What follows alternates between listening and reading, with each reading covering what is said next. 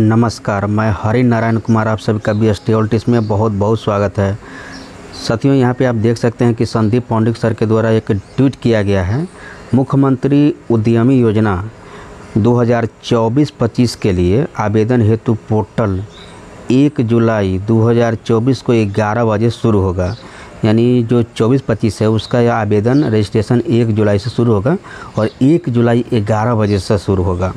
और कब बंद होगा? तो एक जुलाई से लेकर के 31 जुलाई तक होगा। तो एक, एक जुलाई को 11 बजे शुरू होगा और 31 जुलाई 2024 को 5 बजे सायं यानी 5 बजे जो संध्या है वो शाम तक खुला रहेगा। अंतिम तिथि नहीं बढ़ाई जाएगी। यहाँ पे क्लियर किया गया है कि अंतिम तिथि नहीं बढ़ाई जाएगी।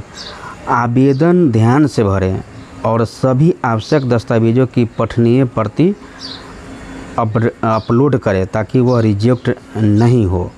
तो यहाँ पे ऑफिशियल वेबसाइट भी दिया गया है। यहाँ पे तो इनका कहना है कि मुख्यमंत्री उद्यमी योजना 2024 से 25 के लिए आवेदन हेतु पोर्टल 1 जुलाई 2024 को 11 बजे खुलेगा और 31 जुलाई 2024 को 5 बजे जो शाम तक खुला रहेगा। अंतिम तिथि नहीं बढ़ाई जाएगी। तो अंतिम तिथि नहीं बढ़ाई जाएगी पर्सनल ओपिनियन में आप बताऊँ तो प्रीवियस ईयर में भी नहीं बढ़ाया गया था, क्योंकि देखिए, इसमें सीट कम रहता है और आवेदन जो है लाखों आवेदन आता है। इसलिए जब टारगेट जितना रहता है, लक्ष्य से ज़्यादा आवेदन पड़ जाते हैं तो स्वाभाविक बात है कि आपको नहीं बढ़ाया जाएगा। हालाँकि पिछले बार जो बढ़ाया गया था, बस मात्र दो घंटा के लिए बढ़ाया गया था। तो हो सकता है कि अगर अंतिम तिथि दो घंटा के लिए कहीं बढ़ाया जाए, लेकिन वो भी उम्मीद नहीं मान के चलिए। क्योंकि एक जुलाई से इकतीस है तो तीस दिन समथिंग आपके पास है। तो उनतीस तीस दिन है तो भाई पर्याप्त समय है।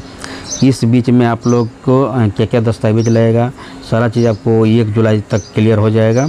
और इसमें सीट कितना रहेगा? हमें लगता है कि जैसे प्रीवियस ईयर में 8000 था तो 8000 से ज़्यादा सीट रहेगा, क्योंकि इसमें अल्पसंख्यक उद्यम योजना हो गया तो इसी में है। तो प्रीवियस ईयर में क्या हुआ था? अल्पसंख्यक उद्यम योजना के एक अलग से उसका सीट आया हुआ था। समथिंग इक्कीस सौ से पच्चीस सौ के आसपास उसका आयात हुआ था।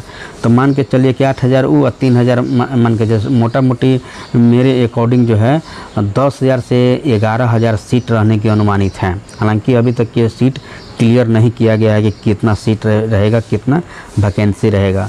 तो अगर सोलह हज़ार तक कर देता है तो अच्छे हैं। अब देखिए कितना है, क्योंकि इससे ज़्यादा तो सीट नहीं ही बढ़ाया जा सकता है।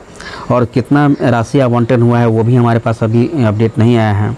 अगर वो आता है तो उससे अनुमानित हो सकता है कि कितना सीट रहेगा, कितना वैकेंसी रहेगा। तो ये मान के चलिए कि आठ से दस हज़ार तो रहेगा, क्योंकि आठ हज़ार से ज़्यादा ही रहेगा, क्योंकि प्रीवियस ईयर अभी इस बार क्या है? अल्पसंख्यक उद्यम योजना, युवा उद्यम योजना एस सी हो गया ईबीसी हो गया तो चार और महिला। पाँचों उद्यमी योजना के लिए पोर्टल खुला हुआ है। और प्रीवियस ईयर में क्या था? अल्पसंख्यक उद्यम योजना के लिए अलग से भी आया हुआ था। तो इस बार वैसा नहीं है। इस बार अल्पसंख्यक को भी इसी में समाहित किया गया है। तो इसके अकॉर्डिंग जो है वैकेंसी बढ़ना चाहिए। आपको अभी कमेंट में बता सकते हैं कि वैकेंसी बढ़ना चाहिए या नहीं बढ़ना चाहिए।